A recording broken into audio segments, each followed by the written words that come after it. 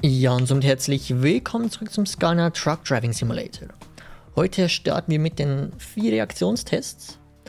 Ich würde sagen, wir beginnen einfach mal und schauen uns an, was wir machen müssen.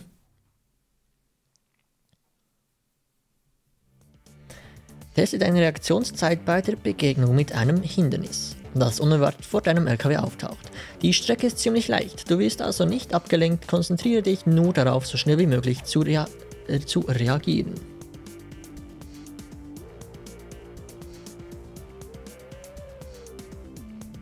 Okay, also sprich, wir müssen einfach stoppen.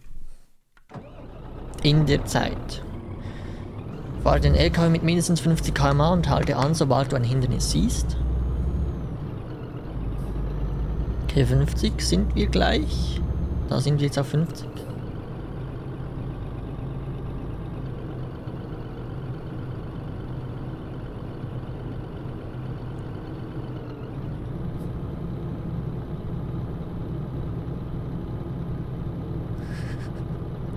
fies. Ich erwarte es jetzt jederzeit.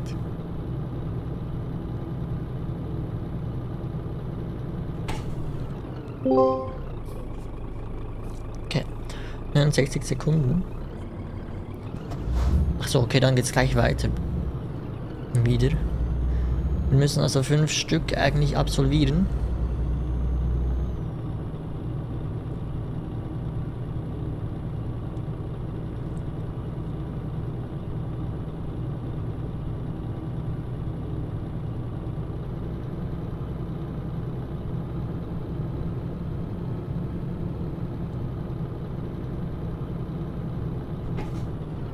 Uh, okay, das war schon ein bisschen weniger sch sch nicht schlecht, weniger gut.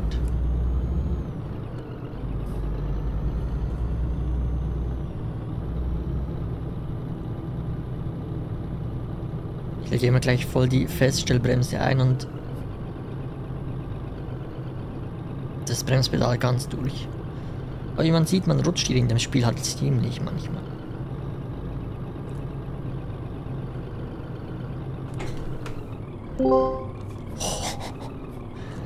Theoretisch hätten wir ihn überfahren, aber gut. Wenn alles so um die 70 Millisekunden ist, würde ich das akzeptieren. Ich muss ja dazu sagen, ich fahre auch nicht unbedingt genau 50.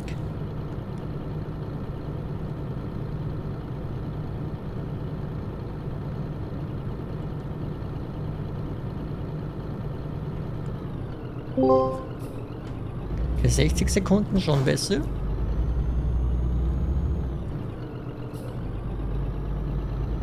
Und noch das letzte Mal.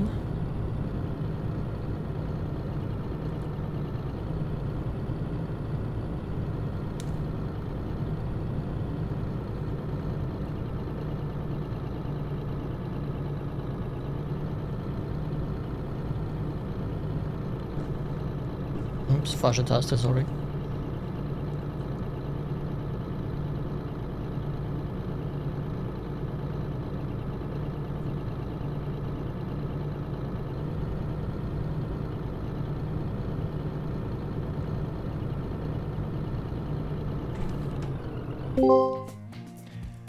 Okay, sehr gut. 16, 60 Sekunden beim letzten.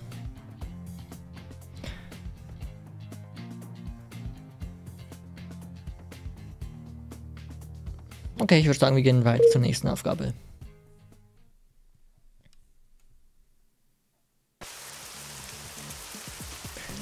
Reaktionstest 2. Teste deine Reaktionstests unter widrigen Bedingungen. Plötzliche Überraschungen können dir auch mitten in der Nacht begegnen. Lass uns diese Aufgabe erneut auf der einfachen Strecke absolvieren, um zu sehen, ob schlechte Sicht bei ansonsten identischen Bedingungen deine Leistungsfähigkeit beeinträchtigen. Okay, das sieht ja ganz unglaublich schön und gut aus. What the fuck ist jetzt hier los? Im Spiel geht's echt nicht mehr gut, wie man sieht.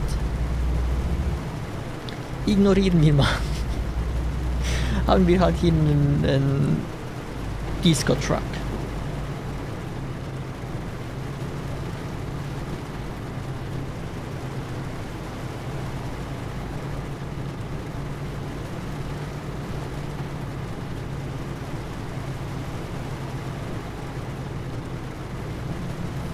Das sieht schrecklich aus.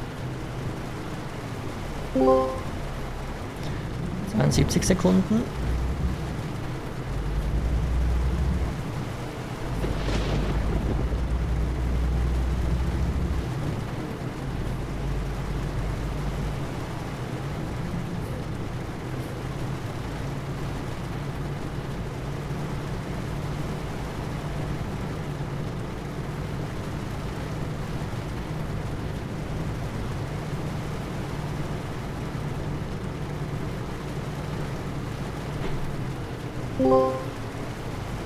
Dreiundsechzig, viel besser.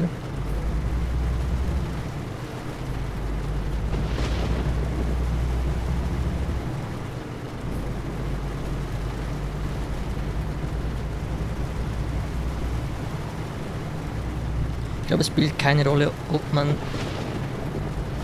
ähm, kurz davor oder weiter weg anhält. Hauptsache man reagiert schnell, wenn man das sieht. Egal welche Geschwindigkeit man fährt.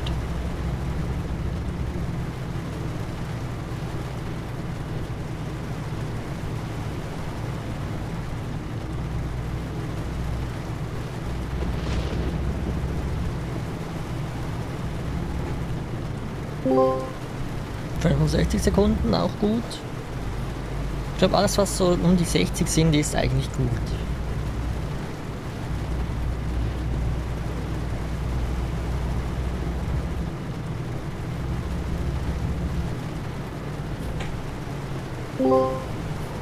Ja, das war wieder schlecht, ich habe es selber gemerkt.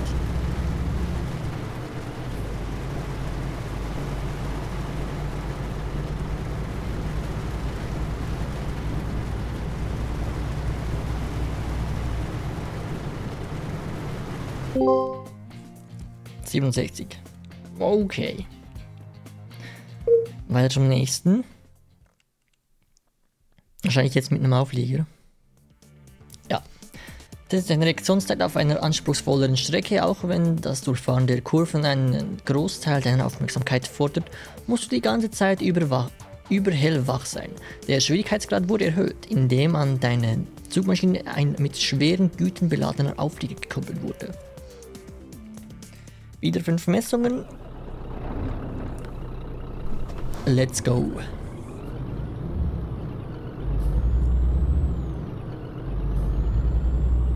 Da muss man natürlich viel aufmerksamer sein, da der Bremsweg viel länger ist.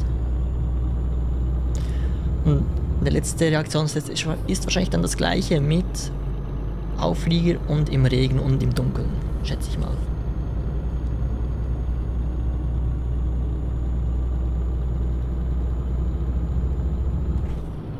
Oh nice, 55 Sekunden. Bisher Bestleistung.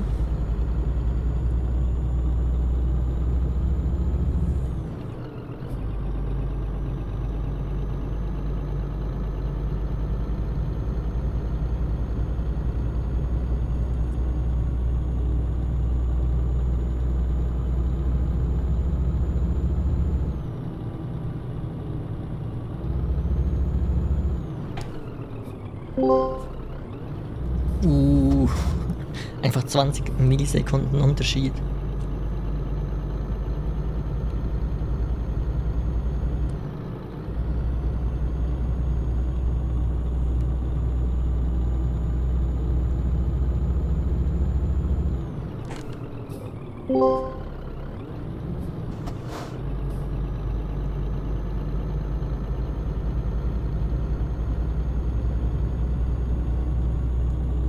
Die erste Messung war bisher am besten. Und wird wahrscheinlich auch nicht unbedingt viel besser werden.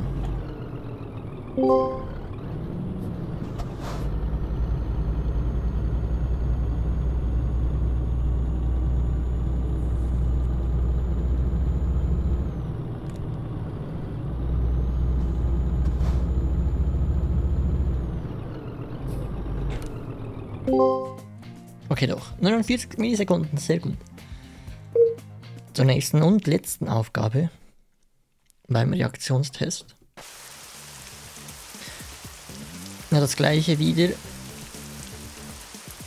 Einfach mitten im Auflieger und wieder unseren Party-Truck hier. Echt weird.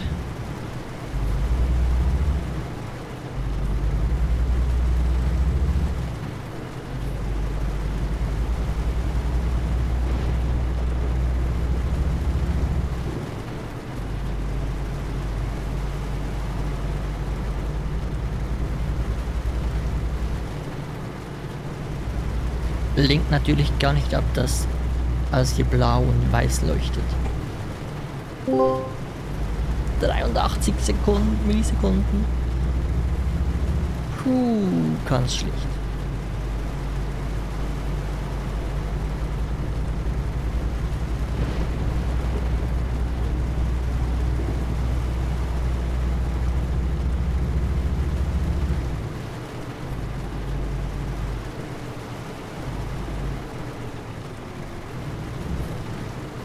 Alter. Schwimmt das hier rum?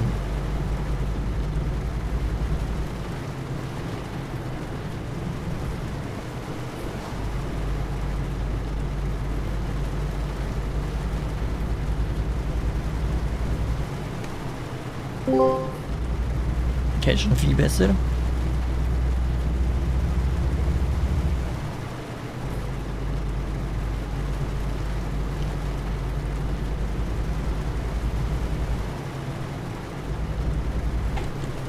Uh, das habe ich jetzt ganz spät gesehen.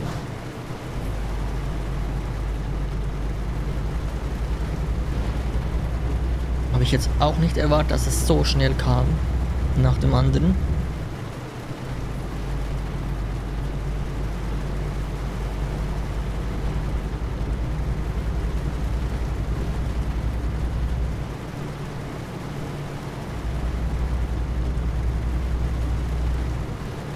Man